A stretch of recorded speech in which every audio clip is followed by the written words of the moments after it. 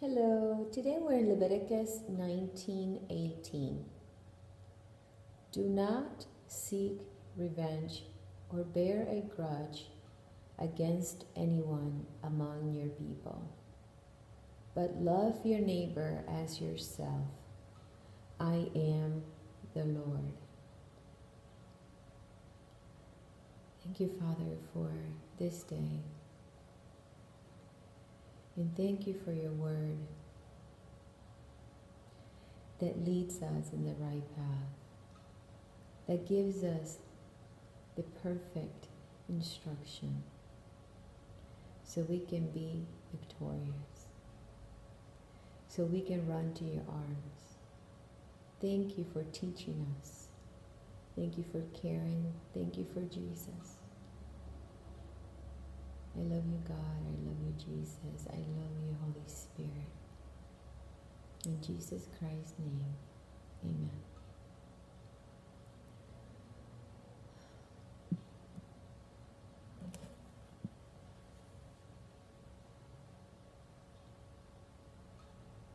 Why stay upset?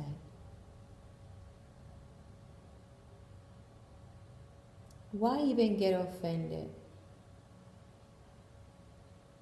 With friends, with our family.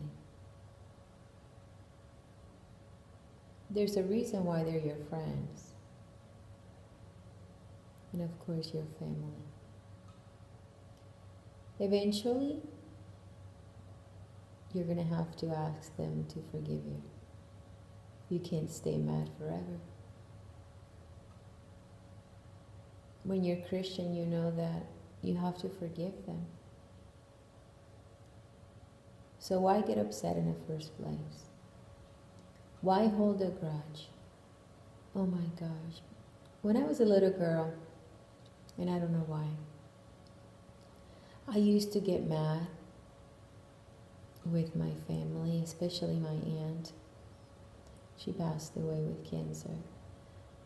She was an awesome person, loved God with all her life, all her heart, so devoted to God. But I used to get mad at her and I used to be upset with her for days. And it's not like she did anything to me. I just did it. I did it and I regret it. I regret it so much. I sometimes remember doing that. And I ask God to forgive me. But why? Why waste your time? You know that's only making you sick. And you're holding blessings from them, not only from you, but from them. Just run from that. First, run from the situation. He talked about that yesterday. If you know that you're having a conversation with someone or there's a situation and you know it's not taking the right direction, just run from it. But let's say something happened. Either you said something or they said something. Listen, don't open that door. The door will be there for you to stay upset and to hold that grudge, or maybe try to plan something on how to uh, take revenge. It's not worth it.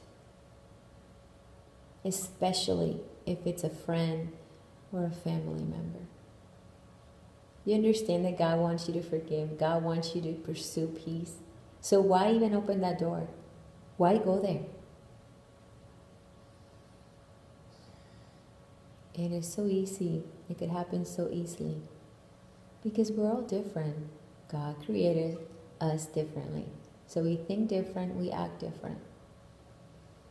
But your focus should be, and my focus should be, to pursue peace, not arguments, not revenge. That's not Jesus at all. That's the enemy that wants to lead you down, down that path.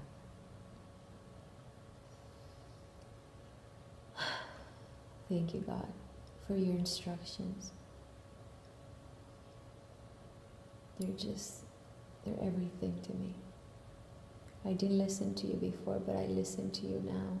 And I ask you and cry out to help us, God, to not go down that route on revenge or holding a grudge. In Jesus Christ's name, help us to honor you all day long and to stay in humbleness, in meekness, in forgiveness, in love. In Jesus Christ's name, amen. God bless you guys.